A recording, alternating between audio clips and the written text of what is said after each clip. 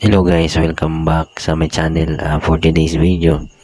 Gusto nyo ba magkaroon ng automatic uh, reply o auto chat reply kahit natutulog kayo ay i-reply siyang kusa. Uh, so ito guys, ang gagawin natin. Ngayon, punta tayo sa ating uh, screen. Punta tayo sa kailangan maka-download ka ng business site apps. Ito po yun. Ida-download nyo para magkaroon tayo ng automatic na reply o auto chat reply. So ngayon, kiklik nyo yan yung tools. Tapos, punta kayo sa settings. Tapos, i-click yung automations. Tapos, yung nakalagay sa your automations, i-click yung instant reply. Tapos, may nakalagay na sa box na check. I-check mo yan.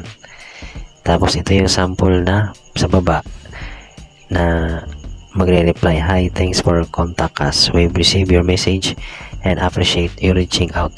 Pwede mo yung i-edit. Pwede rin ganyan. Hi, contact us. Ganon. Ikaw bahala kung anong pwedeng i-reply, automatic reply doon pag sino na chat sa'yo.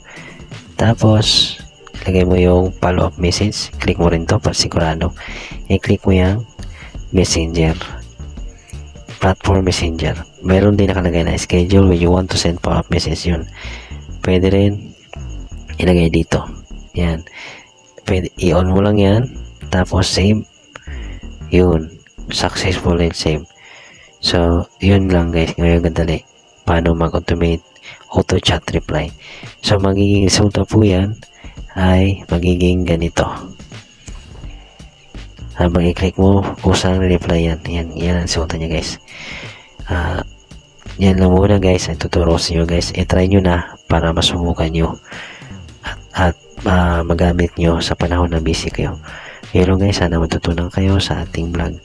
Uh, don't forget to subscribe and hit the notification bell para sa mga susunod na uploads. Uh, nag-upload ako ng iba't ibang vlog uh, uh, tutorial travel at mga vibes lang pang good vibes guys. Yun lang maraming salamat